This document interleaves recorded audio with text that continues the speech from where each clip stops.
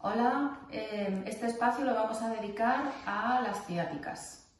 Eh, las ciáticas a veces no son tales, sino que podemos encontrarnos ante lo que denominamos una falsa ciática o una pseudociática.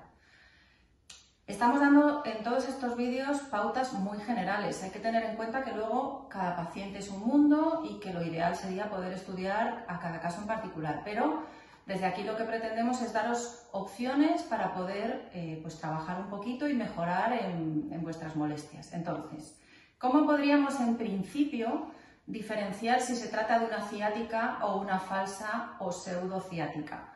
Pues básicamente porque la sensación de dolor en una ciática nos va a llegar, nos va a bajar por toda la zona glútea hasta el pie. Y cuando se trata de una falsa ciática o una pseudociática, esa sensación de molestia, de dolor, normalmente se queda en la rodilla y no baja de ahí. Hay que tener en cuenta que el atrapamiento nervioso que nos está provocando esta dolencia pues se puede encontrar en la zona lumbar, consecuencia de una hernia, de una protusión discal, de una mala alineación de las, de las vértebras, de aparición de osteofitos, de mil cosas en las vértebras lumbares. Y para eso lo que vamos a tener que buscar son ejercicios de descompresión, que ahora os indicaré. Mientras que si se trata de un dolor de una falsa ciática, es posible que la zona que está más comprometida sea el músculo piramidal, puesto que pasa por una región por la que, en la que coincide con el nervio ciático y cuando está muy muy tenso lo comprime y roza y entonces el nervio digamos que se queja. Tener en cuenta también que eh, los compromisos radiculares de, los nervios no siempre van a dar esa sensación de calambre que parece que todos tenemos en la cabeza. La clínica de un atrapamiento nervioso puede ser simplemente dolor, puede ser sensación de acorchamiento, puede ser falta de fuerza, puede ser sensación de escozor, de quemazón, por supuesto esa sensación eléctrica también, de hormigueo. Todo esto podría estarnos diciendo que hay un compromiso de la raíz nerviosa.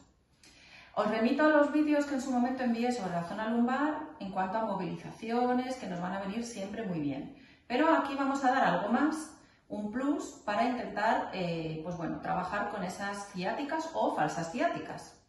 Porque ambas cosas, mm, digamos que vamos a poder mm, tratarlas también. Es decir, si tengo un síndrome de piramidal, una falsa ciática, lo que hagamos para las ciáticas no nos va a venir mal y al revés. Entonces, vamos a trabajar con autoestiramientos, para lo cual volveremos a necesitar una vez más la ayuda de una pelotita. Os voy a dar opciones con un roller de pilates por si acaso algunos de vosotros disponéis de él para que tengáis opciones para poderlo utilizar.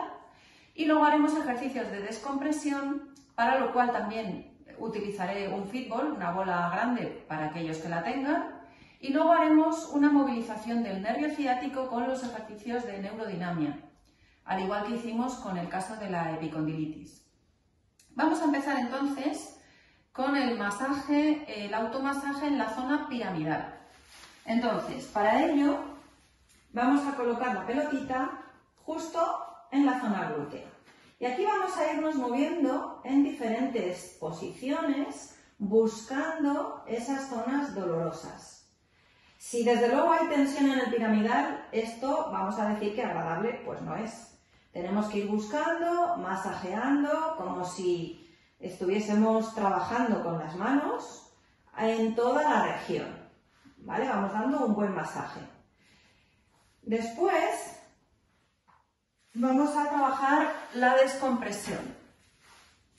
Para ello nos vamos a colocar de lado, la cabeza apoyada en el brazo de abajo y mano con mano. ¿Qué ocurre para aquellas personas que tengan, por ejemplo, problemas de hombro y que no puedan estar en esta posición? Podríamos colocar el brazo en esta posición. O incluso si se nos queda la cabeza muy colgando, colocar un apoyo en la cabeza de manera que el cuello esté alineado, ¿vale? Vamos a suponer que no hay problema y que podemos hacerlo así, mano con mano. La rodilla de abajo doblada, la rodilla de arriba extendida. Vale, vamos a buscar un ejercicio de descompresión en el que, además induzcamos un estiramiento del cuadrado lumbar, porque si tengo mucha compresión en este músculo, también nos va a comprimir más las vértebras. Y lo vamos a hacer en inspiración, es decir, cogiendo el aire. Cuando coja el aire, al mismo tiempo voy a tirar de mis manos hacia aquella pared y del talón, ojo, del talón en la dirección contraria. Cuando suelte el aire, simplemente dejaré de empujar. Entonces, inspiro, expiro. Inspiro, expiro. Como siempre, haremos tres series de 10 repeticiones. Después, vamos a buscar otra movilización para toda la columna. En cuadrupedia, vamos a soltar el aire redonditos, buscando que la nariz y el coxis se miren entre sí. Y al inspirar, al coger el aire, voy a buscar la posición contraria. Suelto el aire todo redondito, despacio, controlado, los hombros abajo, cojo el aire, dirección contraria. Aquí nos podría dar pie a hacer un estiramiento del piramidal, eh, pero para que no encontremos personas que tengan dificultad en hacer estos ejercicios, que a lo mejor en otro momento os dedico otra sesión a diferentes alternativas de estiramientos para el piramidal, lo vamos a hacer apoyándonos en una mesa y ahora os lo indicaré. ¿Cómo puedo utilizar el rulo si quiero hacer un automasaje de esa musculatura? Pues me siento, la pierna del lado que voy a trabajar la voy a dejar extendida, la otra doblada y me voy a girar un poquito como si me sentara de lado. Con ayuda de mi brazo y de la pierna que está apoyada voy a ir moviendo arriba y abajo. Igual que hicimos con la pelota, pues iremos girando más o menos buscando el punto de dolor.